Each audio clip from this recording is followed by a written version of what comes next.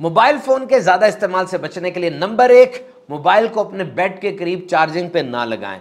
सुबह उठने के लिए अलार्म मोबाइल फ़ोन पे ना लगाएँ, अलार्म क्लॉक अलग से खरीदिए। नोटिफिकेशन ऑफ़ कर दें टन टन होता रहेगा बार बार मोबाइल उठाने को दिल करेगा।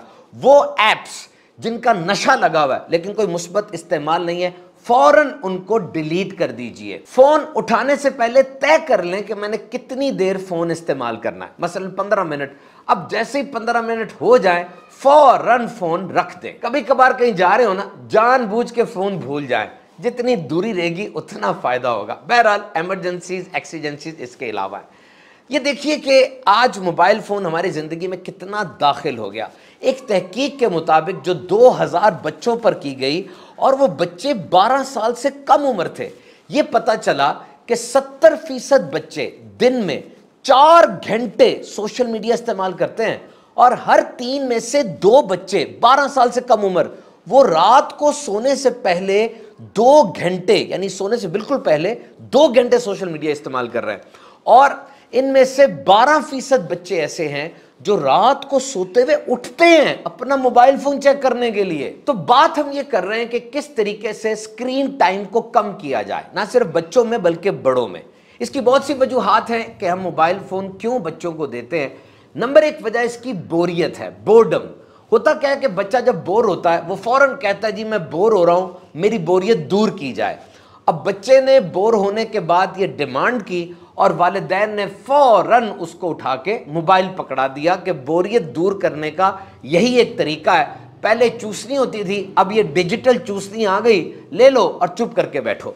यहाँ एक बात सामने आती है कि वालदेन इस बात में अपने आप को कसूरवार समझते हैं कि बच्चे का जो बोर होना है, इसके कसूरवार हम हैं। तो बच्चे ने जब कहा, मैं बोर हो रहा हूँ, अब कसूरवार तो मैं हूँ, बतौर माँ, बतौर बाप, मैं इस बोरियत को दूर करने के लिए फ़ौरन इसको मोबाइल पकड़ा दो। अब यहाँ एक बात देखनी पड़ेगी कि बोरियत होती क्या है। वट इज़ बोर्डम ये कोई बुरी चीज़ नहीं है। It's a precursor to creativity and curiosity आज के दौर में इंसान की सलाहियतों में अहम तरीन सलाहियत, वो कुछ नया सोचना है, क्योंकि हमारी दुनिया के मसाइल वही पुराने हैं, हल हमें नए चाहिए। इसके लिए क्रिएटिविटी बड़ी ज़रूरी है कि बच्चों में कोई नई सोच का तरीका पैदा हो, और जब बच्चा बोर होता है, उस वक्त उसमें ये क्रिएटिविटी पैदा की जा सकती है। ये वक्त है जब माँ बाप अपने बच्चों से सवालों जवाब करें। अपने बच्चों से पूछे कि, बेटा बोर हो रहे हो, बताओ इस बोरियत को दूर करने का तरीका क्या है? मोबाइल फ़ोन के अलावा तरीके उससे पूछें। बच्चों के इंटरेस्ट क्या है? दिलचस्पी क्या है? ये माँ बाप को पता होना चाहिए। And this is the time to give them alternative यहाँ पर बच्चों को कोई मुतबादिल दें। बच्चे कोई स्पोर्ट्स खेल सकते हैं, कोई खेलते हैं मूवमेंट करते हैं, मट्टी चाइना मट्टी आती है दीगर मट्टी से, और फिर पेट्स कोई जानवर उनके पास ऐसे हैं जिनके साथ उनका दिल लगता है। और यहाँ पर हॉबीज भी हैं, यानी मशगले, जैसे गार्डनिंग है। अब बच्चों को बताया जाए, खड़े होके किस मौसम में कौन सा बीज हम बोएँगे, उस बीज की रिक्वायरमेंट क्या है, ज़मीन में बीज के साथ क्या मामला होता है तो वो बाहर आता है। ये बच्चे को समझाएँगे, बच्चे में क्यूरोसिटी बढ़ेगी, उसको बाहर लेकर जाएँ और फितरत के ज़्यादा करीब करें। इसी तरह ड्राइंग्स की जा सकती हैं।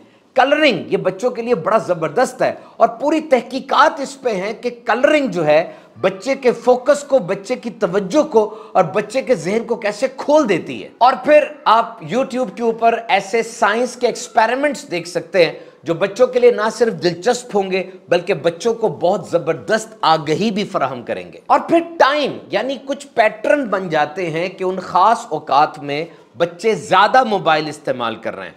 और ये पैटर्न हमें तोड़ना है। मिसाल के तौर पे बच्चे स्कूल कॉलेज एकेडमी से घर आए, आते साथ ही मोबाइल पर बैठते हैं। सफ़र के दौरान बोरियत दूर करने के लिए मोबाइल पकड़ रहे हैं। रात को सोने से पहले स्क्रीन टाइम उनका बढ़ रहा है और फिर खाने के बाद या खाने के दौरान मोबाइल इस्तेमाल कर रहे हैं। ये पैटर्न आहिस्ता आहिस्ता पक्का होता चला जाता है और बच्चे की आदत बन जाता है। इसी तरह बड़ों में भी देखें कि वो किस टाइम पर ज़्यादा मोबाइल यूज़ कर रहे हैं। इस पैटर्न को तोड़ें।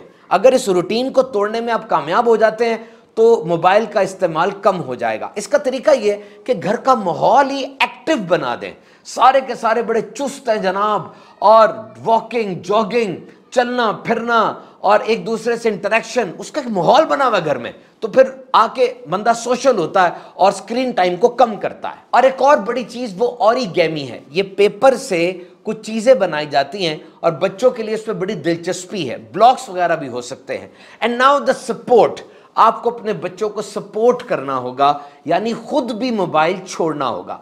बच्चे जब देखते हैं कि मेरे माँ बाप ही मोबाइल के साथ इतने चिपके बैठे हैं, तब वो भी मोबाइल यूज़ करते हैं। आप बच्चों से उनके स्कूल की रूटीन का पूछें, बच्चों से पूछें, उन्होंने आज क्या खाया? उनके दोस्त कौन है? उनका फेवरेट सब्जेक्ट क्या है? उनके फेवरेट टीचर कौन से हैं?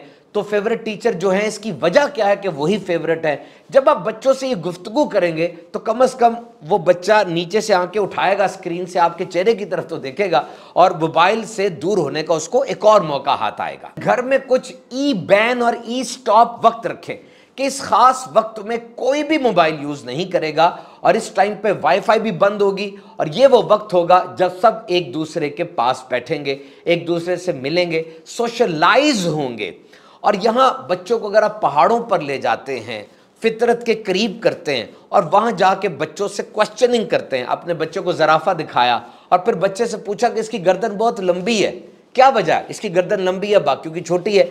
जब आप बच्चे से क्वेश्चन करते हैं, बच्चा उस क्वेश्चन का आंसर ढूंढता है, आपसे बात करता है तो इसका फ़ायदा होता है। वो इंक्यूजिटिव होता है उस पर क्यूरोसिटी बढ़ती है। और एक बात याद रखें, जब भी आप बच्चे को मना करते हैं कि मोबाइल छोड़ दो एमरजेंसी ना डालें। कि फ़ौरन छोड़ो, अभी छोड़ो। नहीं, बल्कि उसको टाइम दे कि अभी पाँच मिनट बाद आपने मोबाइल छोड़ देना है। इस तरह वीन ऑफ़ बच्चा होता है और उसके जहन को सुकून मिलता है। और फिर जब बचाव मुमकिन ही नहीं है एस्केप ये मुमकिन नहीं है। मोबाइल ज़िंदगी का हिस्सा बन चुका है। आज की जदीद नस्ल को अगर बताया जाए कि एक दौर ऐसा था, जब मोबाइल नहीं था, वो हैरान होंगे। तो जब ये एक ज़रूरत बन चुकी है तो इसको फ़ायदे में इस्तेमाल करें। मिसाल के तौर पे आप अपने बच्चे से कोई काम करवाना चाहते हैं, जैसे होमवर्क करवाना है, या उसको फल सब्ज़ियाँ खिलानी है, उसको दूध पिलाना है, या उसको कोई स्पोर्ट्स वगैरह खिलानी है तो ऐसे वक्त में बच्चे को ये कहा जा सकता है कि बच्चे अगर आप ये काम करेंगे तो आपको एक स्टार मिलेगा, ये काम करेंगे तो आपको दो स्टार मिलेंगे, और इस स्टार का मकसद क्या है कि इस एक स्टार पर आपको 10 मिनट मोबाइल फ़ोन दिया जाएगा और फिर जो मोबाइल आप उसको दें, वो उसको रिवॉर्ड समझेगा कि मुझे ये इनाम मिल रहा है। वो मोबाइल फ़ोन पे क्या देख रहा है, कितनी देर देखता है, ये आपकी सुपरविजन में होना चाहिए, ताकि बच्चा मोबाइल फ़ोन के ऊपर बैठकर किसी गलत जगह ना निकल जाए। बहरहाल, मोबाइल एक अहम तरीन ईजाद है।